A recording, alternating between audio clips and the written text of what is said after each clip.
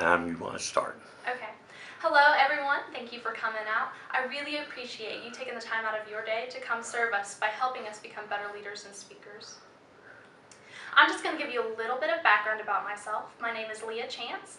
I'm a senior here at Oak Ridge High School. I'm on the varsity team for both cross country and for track, and I have over a thousand volunteer hours at different places like the Children's Museum, different churches, and fairs. Now, I have a question for you. Did you know that our words have the power to either break down people or break down barriers?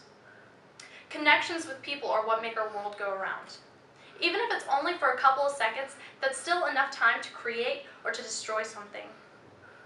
In the 30 seconds that I used to greet you and thank you for your service, I invested some positive into you.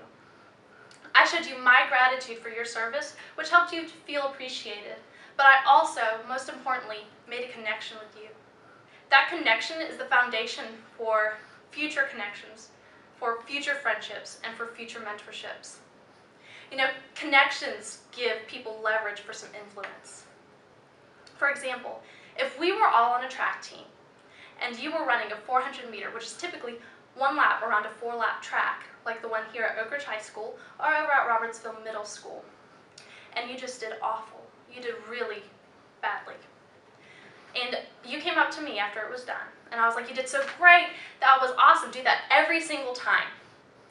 But you know that you did bad. Now you feel bad, and you distrust me because I've broken that connection because I didn't speak the truth. It was not beneficial to me what I said. Uh, it was not beneficial to you what I said to you. It's not going to help you learn how to run a 400 meter better. It's not beneficial to me because now I don't have anybody to compete with. And it's not beneficial for our team because now we're not going to win the meet. However, if I offer you some truth and promote some things that you did well during your 400 meter, if I instead said, hey, you know what? That wasn't your best 400 meter. But 80 seconds is not that bad. It's faster than other people's. You did a really good job of popping your shins at the end, fixing your posture, and passing people. However, we need to work on your focus during the middle because that's where you start to slow down. I made a comment that produces well. It benefits you because now you know how to fix your 400 meter runner and run it better. It benefits me because now I have somebody to compete with. And it benefits our whole track team because we have two front end runners in the 400 meter dash. It's fair to you because it's the truth, and it leaves you with a feeling of friendship and goodwill. Now that we have this connection and your track times are better, I have influence. I've just served you by promoting what you did well and by pointing out some things that you need to work on.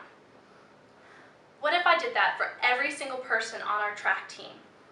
You know, I may not be a team captain or anything on this team, but I am still a leader because I have made the connections and I have the credibility, so now I have the influence. We are now a unit that serves well for its function of becoming the best athletes that we can possibly be.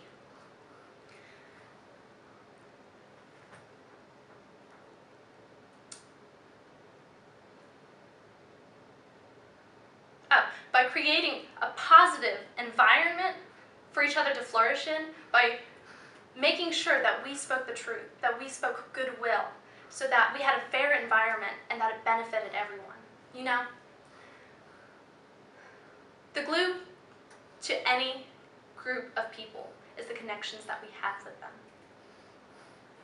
The administrator of that glue is the leader who chooses to use this rotary test to apply this rotary test to the decisions that they make with and for their group. At the beginning of my speech, I stated that our words have the power to either break down people or break down barriers. Well, I choose for my words to break down barriers by speaking the truth, creating a fair environment so that connections will grow into friendship and goodwill, creating a beneficial environment. Thank you. Thank you. Thank you. Thank you for coming. Sorry. Okay, that's fine. That's good. And it was uh, four minutes and 50 seconds, I think. So, Okay. so good, good. Well, uh, I'm glad you we had that second chance because you did a very good job on- in that. So You did awesome.